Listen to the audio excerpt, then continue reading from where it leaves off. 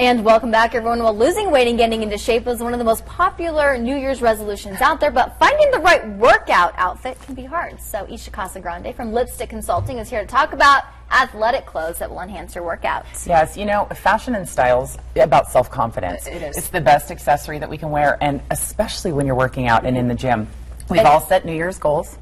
I was going to say, I know I did. I'm looking over at these ladies thinking, God, that, uh, that motivates me even more. right? We want to look like these girls over here. You know, we're it really is. You, you kind of it's like dress for the job you want. You have Yeah. to dress for the body that you want because it does help you in the gym. It does help does. motivate you better. You can really see some results when you have the tight fitted clothing on.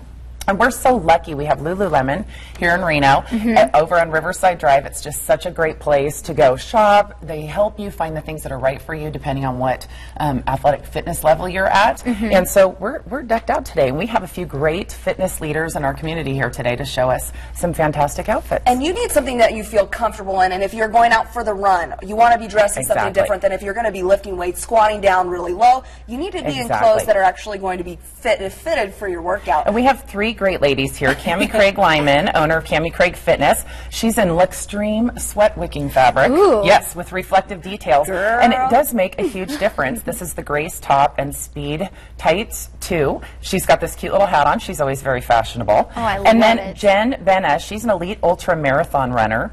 She's starting at the Lululemon River Run Club at the end of January, so that's Oh, something definitely to check out.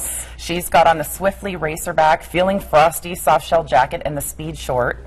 And then we have Melissa Martinez. Now, she's a yoga teacher. She teaches at Rishi Yoga and Soul Space in the Wild Tank Skinny Groove pants and a vinyasa scarf. So look how fashionable these ladies are. it does it. motivate you. and appropriate for what they'll be doing in, in each workout. And like I know, one of my resolutions was to do yoga more. Right. Uh, and so and I so I kind of struggle finding the right, especially when I do Bikram yoga, the right outfit that makes me mm-hmm. feel comfortable while I'm working out because you don't want to be uncomfortable. No. You, you kind of just want to quit your workout. Exactly. Yeah, and if you can look at yourself in the mirror afterwards and you're like, dang, I look hot in what I'm wearing, or you you know, you strive to look hot in what you're wearing. I love wearing my little running shorts Yeah. after a good long run because you're like, dang.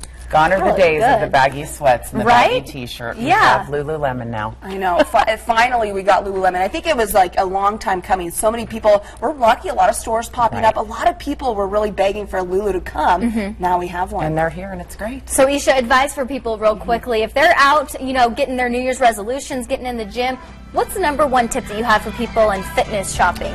Uh, you know, I, again, comfort, I think is most important, and really knowing, you know, yoga wear is different than if you're doing high impact. Like I teach jazzercise, yoga wear doesn't work for that. So Yeah. you really need to find those pieces that work for for the type of exercise that you're doing. Great advice. Thank you so much. Thank you, ladies. for